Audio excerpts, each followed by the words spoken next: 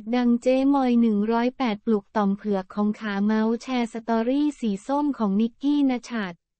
ทำเอาโซเชียลลุกเป็นไฟแห่คอมเมนต์เทียบ ขาเผือกขาเมาส์ทั้งหลายเตรียมขอบตาดำกันไม่พัก เพราะช่วงนี้มีข่าวร้อน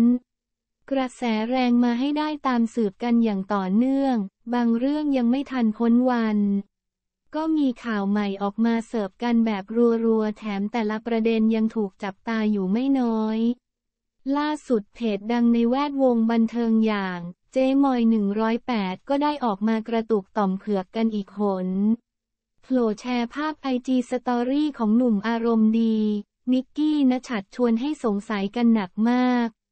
เพจดังลั่นเดี๋ยวมาเล่าหลังแชร์ภาพสตอรี่ของนิกกี้ โดยเพจดังเจ๊มอย 108 ได้ออกมาโพสต์ภาพไอจีสตอรี่ของนิกกี้ณฉัตรชวนให้ชาวโซเชียลสงสัยกันหนักว่า เกิดอะไรขึ้น เพราะเป็นข้อความที่หนุ่มนิกกี้โพสต์ว่าเบื่อพวกมีแฟนแล้วแล้วไม่เปิดตัว แล้วยังไปจีบคนอื่นอะจากนั้นไม่นานโพสต์ดังกล่าวก็ถูกลบออกไป แต่ทางเพจดังมือไวแคปไว้ได้ทัน ก่อนจะนำมาโพสต์ต่อโดยทิ้งบอมข้อความสั้นๆว่าเดี๋ยวมาเล่า งานนี้ลูกเพจและชาวเน็ตต่างพากันสงสัย แห่คอมเมนต์กันกระจายอาทิว่าแต่เขาอีหนาเป็นเอง หัวหน้าห้องคะ ขอลอกการบ้านหน่อยครูไม่เฉลยหรอกข้อนี้ ให้ไวเลยนะอยากรู้มากแซวแจ็คเล่นหรือเปล่า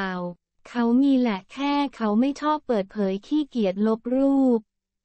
เบื่อพวกมีแฟนแล้วยังเฟรนลี่กับคนอื่นอะเป็นต้น โดยมีคอมเมนต์หนึ่งที่ว่าขนาดคุณที่มีแล้วเปิดแล้วยังจีบไปทั่วเลยค่ะ ซึ่งเพจดังได้เข้ามาตอบกลับด้วยว่า เมืองก็เบาหน่อย